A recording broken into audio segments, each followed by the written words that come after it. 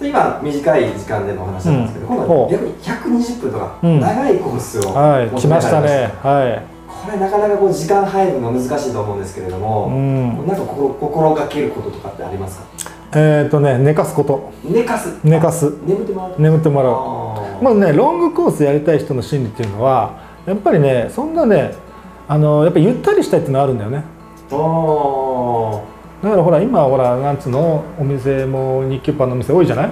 でそうういうお店行っても上手な人結構いっぱいいるわけよ、うん。だからこの間俺もあの新宿の足利田にね行くんだけど、あのたまにね。そこですごい上手なね、うん。えー男の子がいて、うね、あこいつ大丈夫かなと思いながらもね、まあ、俺は勉強のつもりで行くじゃん。いうん。や結構俺のねこうねやってもらいとこゴリゴリゴリこうやってくれてさめっちゃ楽になったな。おほん。でうわすっげえ嬉しいなと思ってもうチップ1000円やったもんだって。えー、渡す時はちょっと四つ折りにしてさこうやってさこうやってここにこう挟んどいて、い。や本当に楽になりました。ありがとうっつってこうグッと握手してほんでこうスッと手を引くみたいな。おおみたいな。スマートでしょ、そうですね。ねそんな感じ。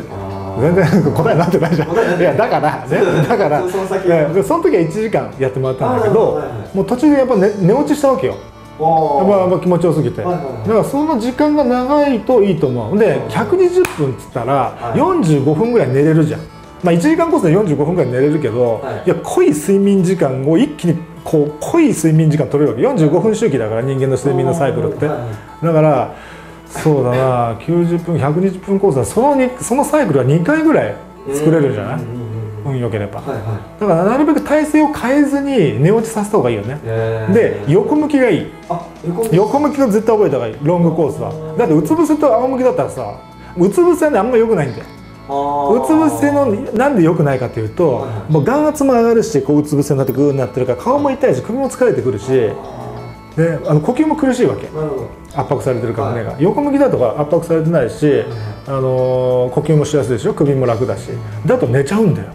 人間って横向きだとね安心して寝ちゃうの。うん。ねタイのほら仏像も横向きでしょ涅槃仏。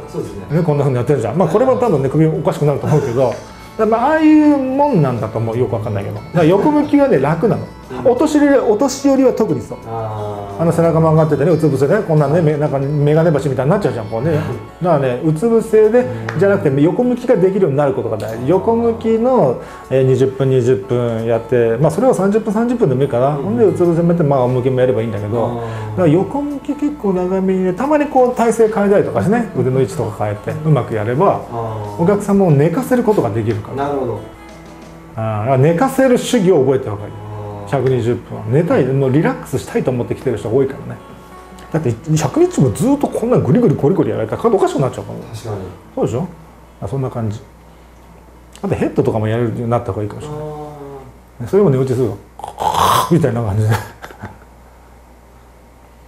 ひですねあの動画を見た感想を、えー書いていただけると大変あの嬉しく思います。どんなことでも結構ですので結構ですのでぜひね、えーよろしくお願いします。全部私が見てねあの気に入ったやつだけあの返事しますんでぜひよろしくお願いします。